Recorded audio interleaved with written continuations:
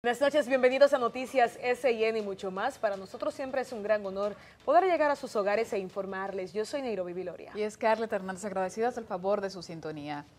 El Pleno de la Junta Central Electoral aprobó este jueves el uso parcial del voto automatizado y el conteo manual del 100% de los votos para los comicios municipales del próximo febrero. Además, aprobó incorporar un lector de huellas dactilares, como habían solicitado varios partidos. Rocío Quiroz nos tiene los detalles en directo desde la sede del órgano electoral. Rocío, adelante. Gracias, muy buenas noches. En total se usarán unos 10.000 módulos de votación en los comicios municipales de febrero próximo, que estarán ubicados en las demarcaciones donde haya que escoger 13 regidores o más. La decisión impacta el 61% del electorado, mientras que el restante 39%, equivalente a casi 3 millones de ciudadanos, deberán votar con las boletas físicas. Así lo determinó el Pleno de este órgano comicial. Nos vamos en 17 municipios con voto automatizado, conteo manual y transmisión de los resultados después que el conteo manual. Las reacciones no se han hecho esperar eh, por los representantes de los partidos aliados al expresidente Leonel Fernández, quienes junto a él han mostrado su rechazo absoluto al uso de esta tecnología tras las denuncias de fraude en las primarias del oficialista PLD. Que las auditorías son indispensables para nosotros como organización política poder apoyar o no el sistema de voto automatizado porque las auditorías nos permitirían a nosotros conocer defectos no deseados, de vulnerabilidades, de sus fortalezas y de sus condiciones. En la primaria pasada hay quejas de personas que participaron y quejas bastante sustentadas. Quiere decir que con los equipos también puede haber más. Entre las demarcaciones donde se implementará el voto automatizado está el Gran Santo Domingo y el Distrito Nacional, además de Higüey, San Francisco de Macorís, Moca, La Romana, La Vega, entre otros. Tras el retiro de Deloitte Costa Rica, el Pleno además decidió someter a consulta de los partidos la contratación de una nueva empresa para realizar la auditoría forense al voto automatizado. Se trata de la PKF Guzmán Tapia. El órgano de elecciones convocó a los partidos para este próximo sábado 30 a las 10 de la mañana a los fines de examinar y hacer las recomendaciones del lugar para la implementación del voto automatizado en los comicios municipales. Esta es la información. Retorno con ustedes. Rocío, gracias por todos los detalles. En tanto, 1.140 millones de pesos solicitó el Tribunal Superior Electoral en el presupuesto del 2020, con lo que busca habilitar una sala especial que estaría destinada solo a conocer delitos electorales que podrían registrarse en las próximas elecciones. Así lo informó el presidente del organismo, Román Jaques, quien dijo es necesaria la habilitación de la sala, ya que esa corte es la encargada de conocer este tipo de delitos. Jaques ofreció la información durante la onceava edición de la Conferencia Iberoamericana sobre Justicia y Electoral.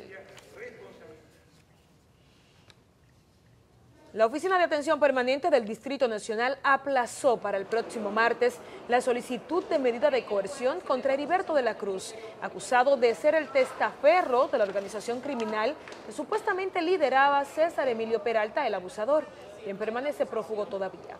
La audiencia fue aplazada a solicitud de sus abogados para presentar las pruebas que, según dicen, sustentan su inocencia. Según el Ministerio Público de la Cruz Pérez, colocaba a su nombre bienes y sociedades comerciales de otros miembros de la estructura delictiva. Heriberto tiene discoteca desde hace 20 años. Heriberto le dicen Eri Aqua, porque hay una discoteca que se llama Aqua que hace como 20 años que opera y es de él en su totalidad. Este lunes de la Cruz Pérez se entregó en compañía de su abogado ante la Procuraduría debido a la orden de arresto que pesaba en su contra. Con esta suman 17 ya las personas apresadas de las que han sido impuestas distintas medidas de coerción por el caso. El segundo tribunal colegiado del Distrito Nacional rechazó el registro de los celulares de la joven Andrea Celea, quien cayó del octavo piso de un hotel, y de Gabriel Villanueva, acusado de esta muerte. El tribunal tenía previsto iniciar este jueves el conocimiento del juicio de fondo en contra del imputado. Sin embargo, la audiencia fue aplazada para el 18 de diciembre a solicitud de la defensa de Villanueva, a los fines de recurrir en oposición al rechazo del incidente que estos presentaron consistente en el mapeo de los teléfonos. Y en otro orden, un supuesto pastor fue condenado a 20 años de prisión en la cárcel de la Victoria por violación sexual y haber embarazado a una niña de 12 años en el sector de Mendoza de Santo Domingo Este.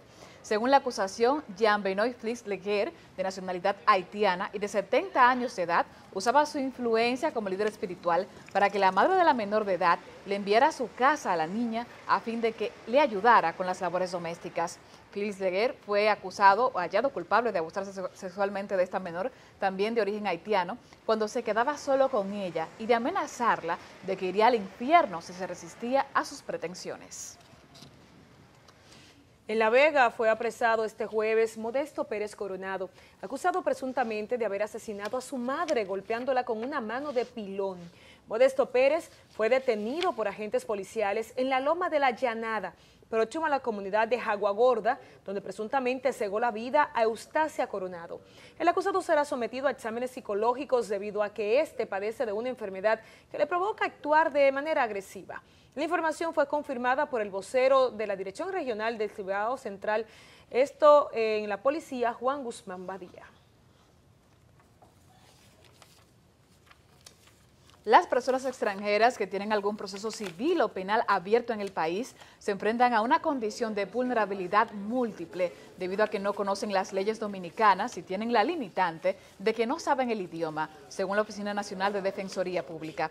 Por tal razón, la Defensoría Pública junto a la Embajada de los Países Bajos y el Centro de Orientación e Investigación Íntegra lanzaron este jueves el programa Conozca sus derechos, con el que buscan brindar asistencia legal de todo tipo a los extranjeros, en especial en temas de traducción. Llamaron a una persona o llamaron a las personas en una situación similar a contactarlos al teléfono 809-200-0286 para denunciar cualquier violación a sus derechos o si necesitan cualquier tipo de ayuda legal.